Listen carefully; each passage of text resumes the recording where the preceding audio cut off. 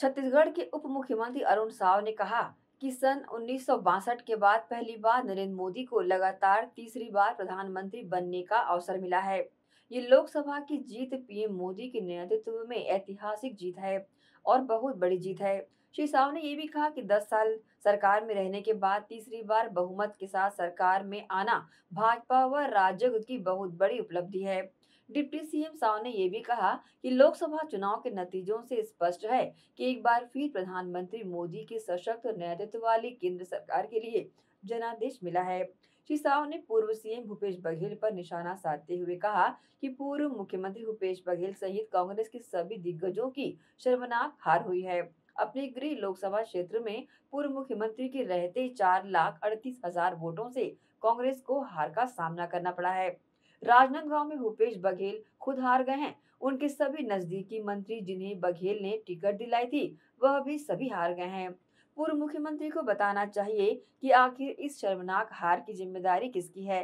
देखिए, ये जो लोकसभा का चुनाव का परिणाम आया है, ये बहुत ऐतिहासिक और बहुत बड़ा परिणाम है।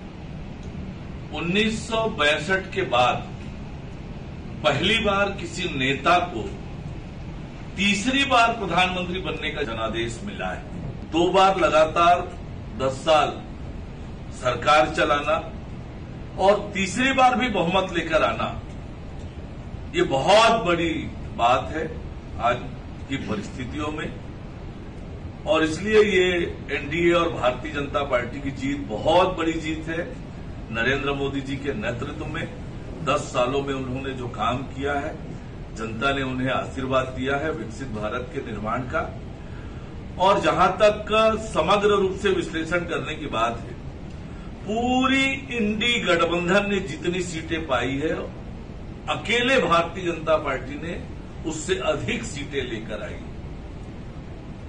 और आप आंकड़े देखें कोई नज़दीक भी नहीं है भारतीय जनता पार्टी और इसलिए भारतीय जनता पार्टी और एनडीए के लिए ये बहुत बड़ी जीत है। ये ज़रूर है कि हमारी अपेक्षाओं के अनुरूप नहीं आया है परिणाम, पर जो परिणाम आया है, जनता ने जो जनादेश दिया है यह अभी अपने आप में बहुत बड़ी और ऐतिहासिक है।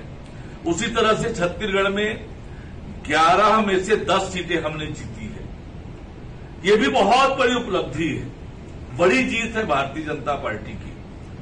कांग्रेस ने अपने सभी बड़े नेताओं को चुनाव के मैदान में उतारा था। सब के सब पराजित हुए। और इसलिए छत्तीसगढ़ में भी 11 में जो 10 सीटें भारतीय जनता पार्टी ने जीती है, वो बहुत बड़ी जीत है।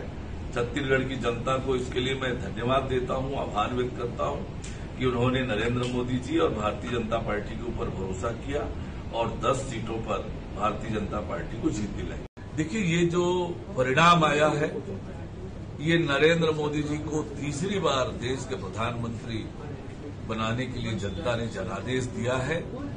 सभी को जनादेश का सम्मान करना चाहिए। जोड़ तोड़ की राजनीति यदि इंडी गठबंधन के नेता करते हैं तो ये लोकतांत्रिक परंपराओं और व्यवस्थाओं के विपरीत होगा। देखिए, जिस प्रकार से ये इंडी गठबंधन कांग्रेस के नेता न जाने क्या क्या कह रहे थे कि चार तारीख के बाद नरेंद्र मोदी कहाँ जाएँगे, क्या करेंगे, ऐसे दस प्रकार की वो बातें कर रहे थे। इस लोकसभा का चुनाव का परिणाम विपक्षी दलों के, इंडी गठबंधन के सब प्रकार के षड्यंत्रों प्रोपोगंडा डर, भय, भ्रम को नकारने का काम किया है, उनको करारा झटका लगा है। देश की जनता ने एक बार फिर नरेंद्र मोदी जी के ऊपर भरोसा किया है। नरेंद्र मोदी जी उसी दिशा में और तेज गति से काम करेंगे, देश को आगे बढ़ाने का काम करेंगे।